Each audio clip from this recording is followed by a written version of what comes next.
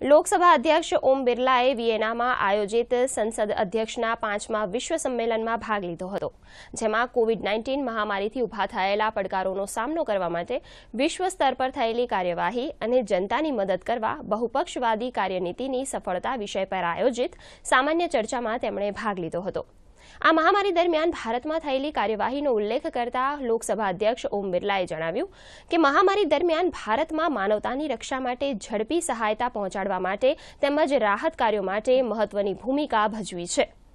તેમણે જણાવ્યું હતું કે અમે વિશ્વ આરોગ્ય પ્રત્યે પોતાની પ્રતિબદ્ધતાના રૂપમાં એકસો પચાસથી વધુ દેશોને વેક્સિન દવાઓ અને અન્ય સાધનો પૂરા પાડ્યા છે.